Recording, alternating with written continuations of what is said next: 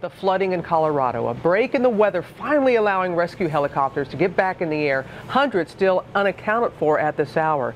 And ABC's Ginger Zee remains there in Colorado for us this morning. Good morning, Ginger.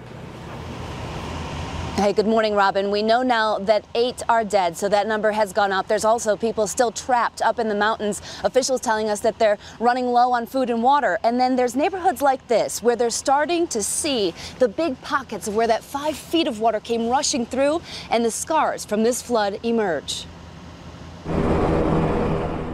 A nonstop buzz of helicopters over Colorado, each carrying the families rescued after nearly a week cut off from the world running out of firewood, running out of food. We basically had a, a, a waterway through our house. There's about a thousand residents that are up in the various isolated areas in need of evacuation.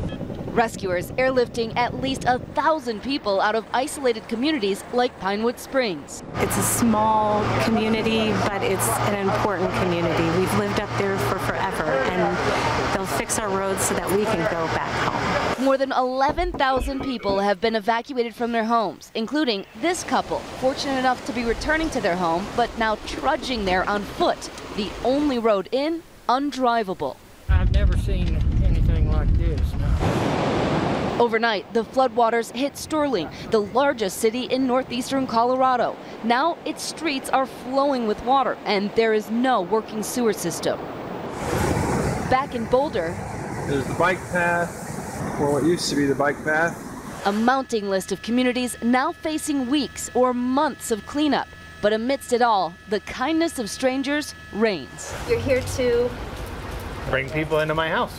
Strangers? Yeah. Yes. Yeah. strangers. What? So you just what? What came over you?